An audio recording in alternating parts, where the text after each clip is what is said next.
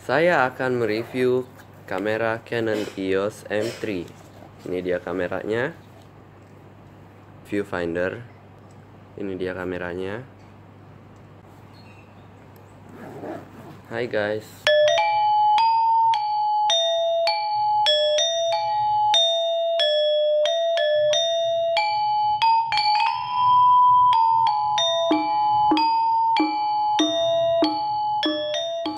Oke, hari ini jadi akan mereview ini kamera EOS M3. Ini Canon ya. Lihat kan? Oke.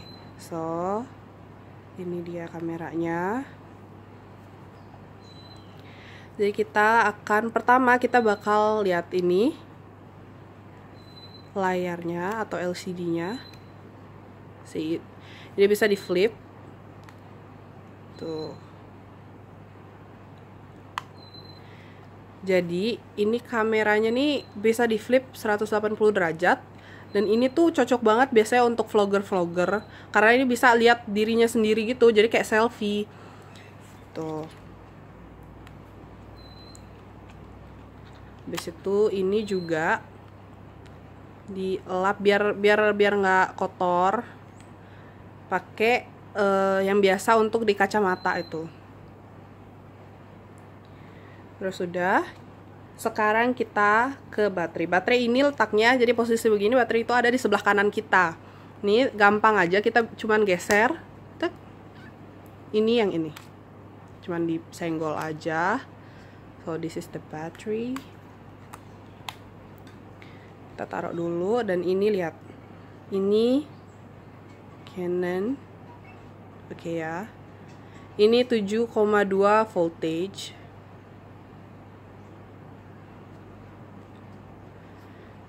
It's just that small but it's good. Oke. Okay. ini jadi uh, chargernya. Kita cuman masukin gini aja kayak biasa.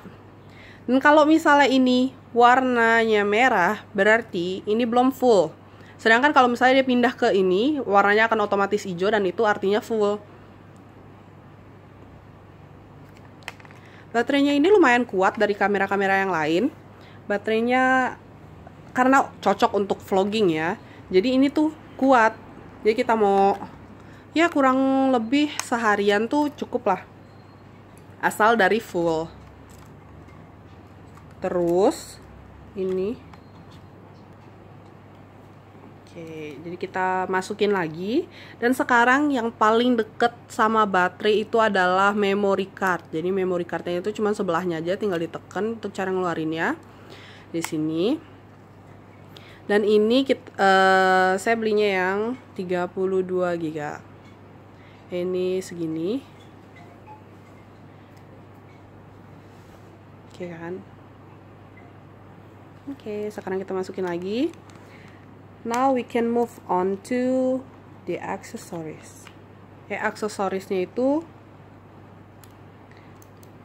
ada beberapa di sini. Ada mic-nya. Mic-nya itu jadi tempat untuk nyimpen mic ya untuk uh, mic extension. Jadi di sini itu tinggal, tinggal dibuka aja. Ini protektornya jadi tinggal ditambahin gitu aja. Biasanya kan kalau vlogger gitu kan biasanya ada yang ya di eh, outdoor atau gimana jadi kita tambahin mic extension biar war apa suaranya lebih jernih. Jadi kalau misalnya outdoor uh, ya sometimes bisa lah dipakai extensionnya mic extensionnya itu. Karena ya kan kita di sana uh, sama alam gitu. Kita nggak tahu alamnya gimana uh, kalau misalnya mau boleh dipakai tapi kalau misalnya di indoor itu tuh nggak usah pakai menurut saya. Karena indoor itu ya biasa aja maksudnya cukup jernih lah kalau misalnya nggak pakai extension mic-nya. Dan itu tuh bisa 3,5 meteran dan itu masih jernih dan itu masih bagus banget. Jadi nggak perlu uh, menurut saya nggak perlu extension mic-nya lagi. Terus kita lari ke blitz blitznya itu ada di sini. Dan ini kita cuman tinggal geser aja di sini. Tuh. Di sini keluar. Dan ini kita bisa langsung cik cik. Di sini blitznya keluar. Ini modelnya kayak gitu kayak mantul gitu dia. Oke. Okay. and then the last is lens. Lensanya ini ini tuh gini di dikeluarin kita putar ke sini. Oke okay. so this is the actual camera this is the extend uh, lens. Nih jadi ini slim aja. Lalu ini ada lensanya. Jadi kalau misalnya kamera kameranya ini misalnya kalau kita itu tuh ini rumah kita dan ini tuh semacam tambahannya karena ini yang mahal dan ini this is the main thing of the camera this is the lens. Ini yang buat segala foto itu tuh bisa zoom in zoom out bisa lebih fokus bisa lebih segala macam jadi ini adalah yang utama lensa adalah yang utama. Dan ini bagian ini dan bagian ini tuh nggak boleh kotor. Ini tuh benar-benar harus dijaga banget karena kalau misalnya kotor atau rusak sedikit ya otomatis kita harus ganti which is harganya pun ya kurang lebih sama dengan kamera beli awal gitu. Jadi ya udah kita harus bener-bener jaga banget. So the, the lens ini range-nya itu 15 sampai 45 met, milimeter. Millimeter this is very nice. I've been using this a lot of time. See? Kalau misalnya lensanya kotor paling nggak kita lapnya di sini di luar. Jadi bukan di dalam bukan di dalamnya ini. Nanti nanti lecet nanti atau gimana itu itu banget banget. Riskan banget banget. Ini covernya nih uh, protektornya tutupnya biasa kayak biasa ini. Oke. Okay. and then kalau mau dimasukinnya lagi kita sama ini nih ini kan ada putih ini ada putih. Jadi kalau kita memasang ini ada pencet dulu dan kita baru puter. Kita kita sesuaiin dulu tadi yang di putih ya itu kan. Sampai ada bunyi ah, ada bunyi klik gitu. Itu namanya udah pas. Jadi ini udah udah udah nggak nggak nggak bakal keluar keluar lagi nggak bakal pindah pindah lagi. Ini udah pas gitu ya. Oke okay, now. Jadi sekarang kita akan nyalain ya. Ini buka dulu otomatis ya. Jangan kita tutup mau foto-foto ditutup gambarnya nggak kelihatan gitu. Ini onnya. Jadi sini tombol on off-nya ini segala macam uh, ya mute mau yang otomatis atau manual apa segala macam ini exposure-nya ini untuk pencet ambil gambarnya buttonnya ini untuk recording ini untuk galeri dan ini zoom in zoom out. Ini M uh, rubbish atau uh, deleting ini apa namanya blitznya ini iOS-nya MV menu ini buat info dan sekarang kita langsung nyalain aja ya. Oke. Okay. lensa oke. Okay. ini harus dibenerin dulu. Ini nih ini yang penting. Ini harus dimajuin dulu baru dibawa sampai ke 15 minimal. Jadi untuk biar tuh. Kan jadi gambarnya jadi bagus ini untuk zoom in ya. Ini ya. Jadi tuh dia nyala posisi nyala begini. Ini bisa kita mainin di layar. Ini juga mau recording bisa mau ini bisa ini ke menu bisa ke menu. Terus kita kalau misalnya kita mau main fokus nih kita gampang aja.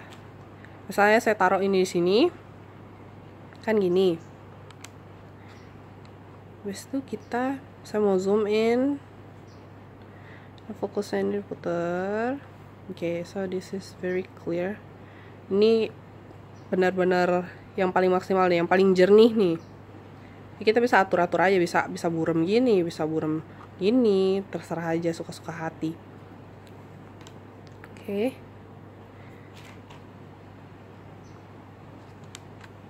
ini masih zoom in. Kita buat zoom out.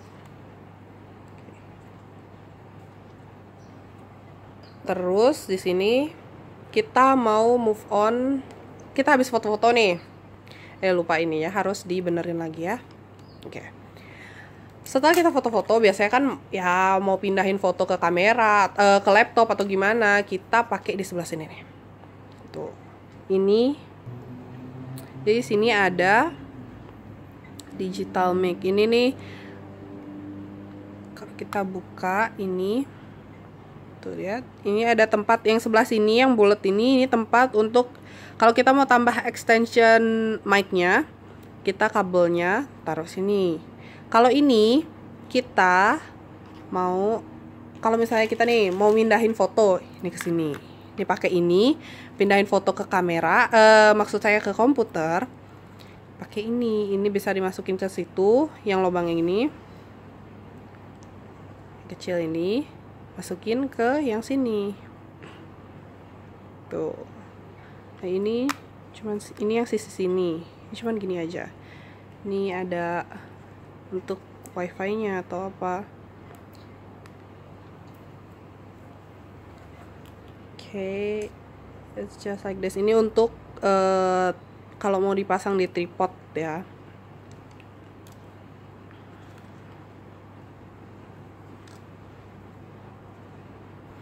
Kabelnya yang tadi.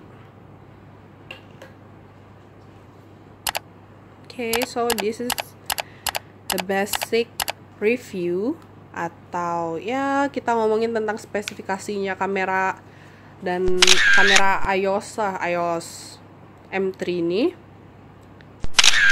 So any question you can put it below in the comment column. So this is the camera Canon EOS M3. Bye. Ini kebetulan ada di pusat kota.